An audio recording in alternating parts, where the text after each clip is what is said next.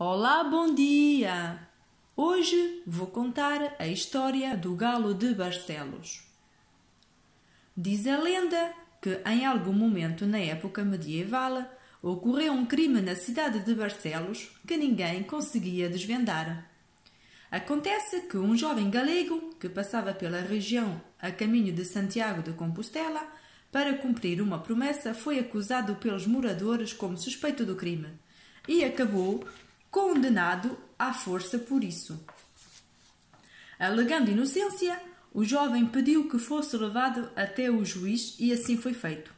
No encontro, reafirmando que não havia cometido crime algum e perante as risadas do juiz e demais presentes, o jovem apontou para um frango assado na mesa do banquete que acorria ali e disse: É tão certo eu estar inocente, como certo é esse galo cantar quando me enforcarem. Claro que todos continuaram a não levar o rapaz a sério. Porém, na hora do enforcamento, o galo se levantou e cantou. O juiz, desesperado, foi até à força para tentar evitar a injustiça e chegou a tempo de ver o rapaz sobreviver por conta de um nó mal feito na corda. Solto e inocentado, o galego voltou anos depois e construiu o famoso cruzeiro do Senhor do Galo, em louvor à Virgem Maria e São Tiago.